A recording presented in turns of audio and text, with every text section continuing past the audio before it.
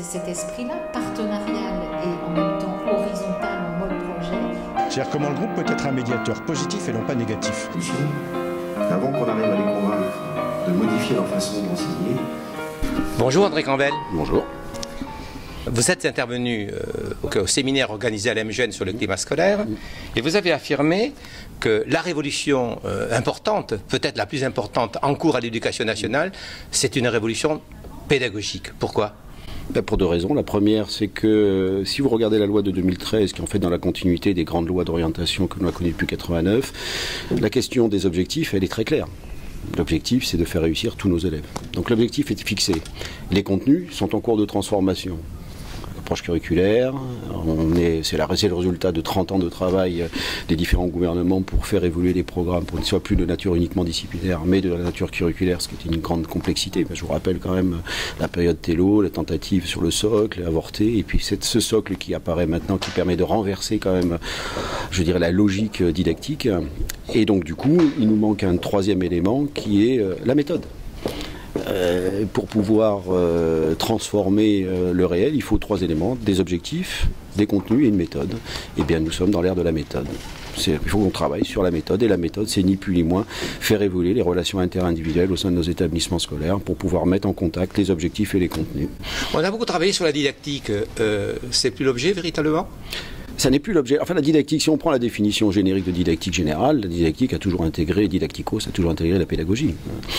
Euh, moi, je préfère maintenant la notion de pédagogie qui, bien évidemment, a fait couler beaucoup d'encre. Je ne parle pas des pédagogies institutionnelles, hein, parce que là, c'est un courant de pensée qui est intéressant de ce point de vue-là. Moi, je parle de la pédagogie comme étant, le, en, revenant à la, à la païla, la, base même de la pédagogie, c'est conduire l'enfant au gymnasium. Hein, C'était ça, hein, c'est donner la main et accompagner. Bah, c'est ça, la pédagogie, c'est nous, plus ou moins, comment, à un moment donné, nos enseignants vont accompagner nos élèves qui n'ont pas nécessairement envie de traverser la route, à traverser la route du savoir.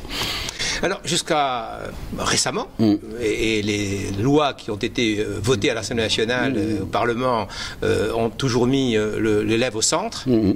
Vous dites qu'il faut mettre l'enseignant au centre. Oui, je pense qu'il faut mettre l'enseignant au centre parce qu'il ne peut y avoir d'école sans enseignants.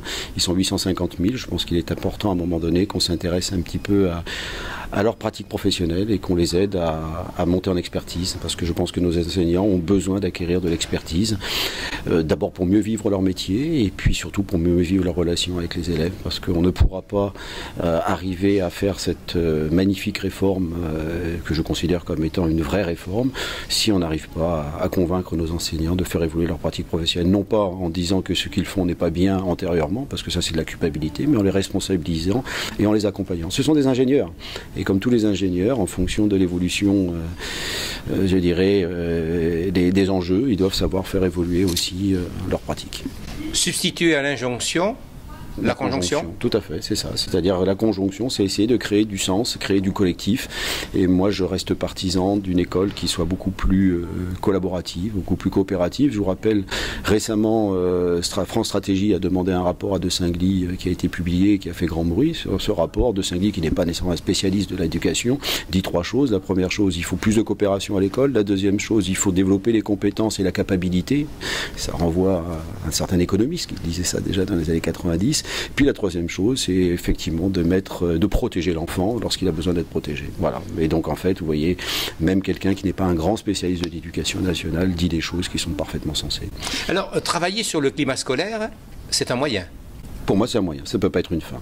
C'est un moyen comme d'autres moyens. Il y a plein d'autres moyens, mais le climat scolaire est un moyen pour une raison très simple, c'est que c'est une démarche intellectuelle. C'est-à-dire que c'est quelque chose qui permet de donner sens à la réalité et de, de passer, je dirais, d'une approche analytique à une approche systémique. Mais je préfère l'approche stratégique. Ce qui m'intéresse derrière la notion de climat scolaire, c'est la stratégie qu'il y a derrière. C'est-à-dire comment on met en marche le changement. Et c'est une stratégie du changement qui peut nous amener, en plus de ça, à faire évoluer nos, formes de gouvernance. Depuis, je dirais, euh, le ministère jusqu'à la classe. Et le but, c'est ça. C'est de faire évoluer l'ensemble des personnels de l'éducation nationale sur cette question-là. Et quelle forme de gouvernance? Ben, Une forme de gouvernance coopérative, basée non plus sur les statuts, et, mais basée sur les fonctions, par exemple. Et considérer qu'à un moment donné, la mobilité euh, professionnelle est euh, une, une condition sine qua non. On doit être, pouvoir passer d'un statut de chef d'établissement à un statut d'enseignant, d'inspecteur.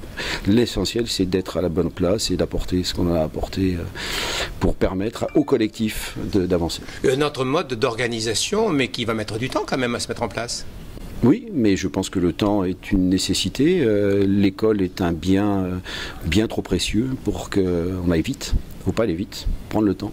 Il faut prendre le temps parce que c'est d'abord une affaire générationnelle, c'est aussi une affaire de société. Si vous multipliez 12 millions d'élèves par le nombre de parents, ça fait 36 millions. Vous rajoutez toutes celles et tous ceux qui sont passés à l'école, c'est-à-dire toute la France, c'est 60 millions de personnes. Donc ça veut dire que ça engage toute la nation. C'est pour ça qu'elle est nationale, notre école. Très bien, merci beaucoup André Je vous en prie, merci.